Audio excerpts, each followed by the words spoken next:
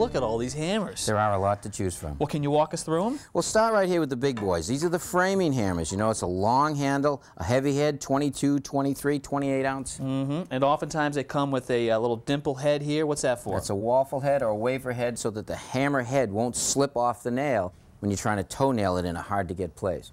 And we're going to use these to drive big nails for some rough framing. Yeah, that's right. Okay, but not always what we want to use. We want to step it down You want to sometimes. step it down, you want to go to a 16 ounce hammer. This is a 16 ounce wooden, graphite, or steel with a rubber grip.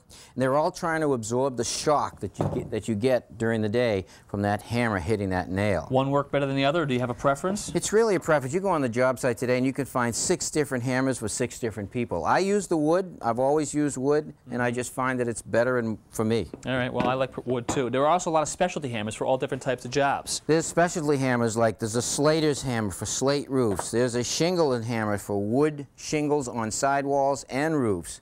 This is a hammer that has a gauge right here so that when I drive my nail, I can hit that gauge against the bottom butt and I know that I want to drive my nail right here so the next course will hide that nail. Ah, okay. There's also a cutter here so I can cut this shingle down to the rough width that I want and then I can true it up with my, uh, with my plane later. So one hammer, a couple different jobs. Perfect. Exactly, exactly. All right, and then this guy right here is for metal work, isn't it? This is for light metal, for malleting light metal around a corner or a curve, a ball peen hammer. How about this guy? This is a bricker's hammer for basically cutting a brick, for example. You just hit it around the perimeter of the brick like that, all the way around, and then you whack it, and the brick is cut to All right, so a lot of options for a lot of different jobs. Let's talk technique, because once you get the hammer in your hand, you actually have to use it. So you want to drive some nails? yeah, sure. All right, take a hammer. All right, I'll grab, Grab your guy. safety glasses. Yep, always some glasses here. All right, now the first thing you want to do is you want to make sure that you grab the hammer correctly. Let's see how you're going to hold your hammer. All right, now you got a good grip, I like that. You want to be down near the end, and you're pretty good. I like to be right in that little curve right there. Come See how you can feel it right Oh, there yeah, on your hand? sure Gets bigger. hand. All right, now let's see you driving now. All right, let me get it started off. You're pretty good. You're pretty good. But I notice that you're swinging like this. All right, you're not let. Right. Yeah, you're not letting the hammer do the work.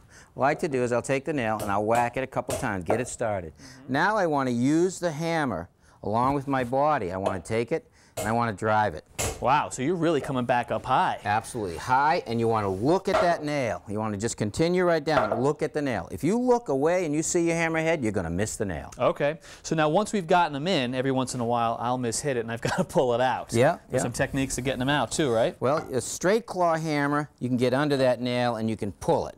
But let's say the nail is in a hard to get place or low like this and I can't get the straight claw under there. Yep. Now I can get my claw, the side of my hammer in here. I can get under it. Now I get some good leverage and I can pull the nail Ah, right up and finish it off at the other end. Now you refer to straight claw, which ref references this straightness right here, but there's also curved claws. This is a curved 16 ounce. Now I want you to pull that. Let me drive two nails for you. You got one there and this one right here. All right, which one do you want me to start with? Start with the curved claw. Okay, curve, get it in there. Comes With out nice. leverage, yeah, absolutely. Right. Pretty easy. Now use the straight claw. All right, will you hold that for me? Yeah. Oh yeah, a lot less leverage, so It's more hard. work. But now you're also putting a lot, a lot of force on that hammer on the wood, and you could damage it. So now if you put a fulcrum under that, Okay, so now protect you're the going to use wood. the straight claw. Oh, Much and- easier, right? Yeah, it sure and is. And you didn't damage the wood. Now you can use the wood under the curved claw also.